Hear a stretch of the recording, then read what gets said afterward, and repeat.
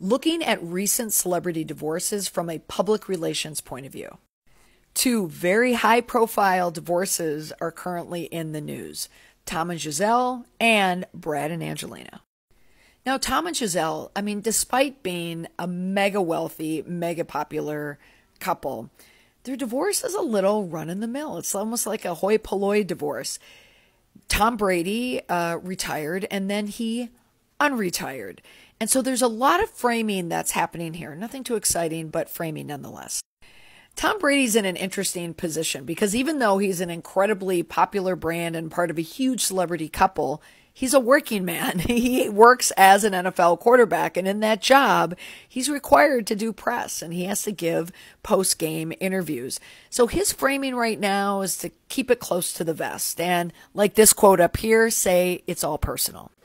Now, Gisele, on the other hand, is not bound by that. And she recently did an interview with Elle magazine. And in this interview, we saw the framing and what was taking place there. So, in this quote, obviously, I have my concerns. This is a very violent sport, and I have my children, and I would like him to be more present.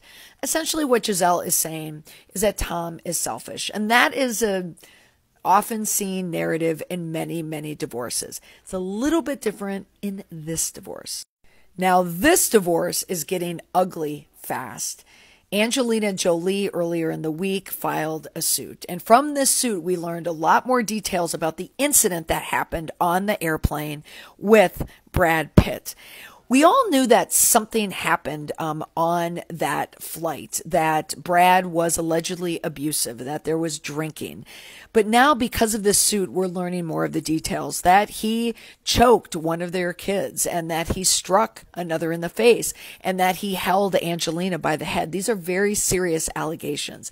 So, the framing that's happening in this divorce is how unstable and abusive Brad Pitt is as a husband or was. So, one of the framing moves that you can deploy if you are an actor who is alleged to be an abuser is you can project a calmer, more chill brand, even more chill than Brad Pitt typically is. And how can you do that? Well, you can come out with a skincare line. And I don't know if you noticed, but this skincare line from Brad Pitt, it was inspired by a winery. That I think is a a finger to Angelina. So, what can we expect in the next coming weeks? More photos of Angelina and her kids, more accusations of Brad being an absent father, and more evidence that Brad is incredibly chill.